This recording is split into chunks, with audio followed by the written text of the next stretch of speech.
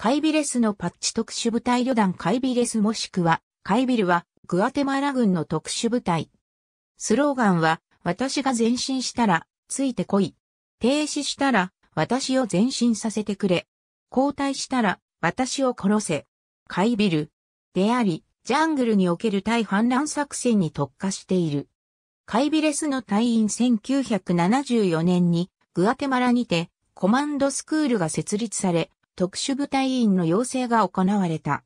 部隊の名前は、16世紀におけるグアテマラの独立運動のリーダーであるカイビル・バラムから取られている。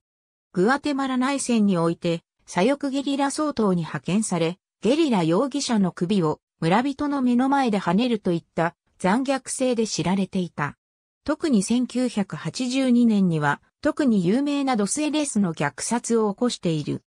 軍事政権崩壊後の現在、カイビレスは麻薬戦争の当事国であるメキシコやコロンビアの麻薬組織総統作戦を実行しているほか、コンゴ民主共和国での紛争における国際連合コンゴ民主共和国ミッションに参加し、神の抵抗軍と交戦している。また、元カイビレス隊員の中には退役ゴロスセタスなど、麻薬組織側につく者がおり、彼らのような元軍人の麻薬業者の存在が、麻薬戦争における残虐化、軍事紛争化の原因となっている。隊員は28歳以下の者から選出され、先行訓練までの間に70から85%が脱落すると言われている。食事時間は30秒。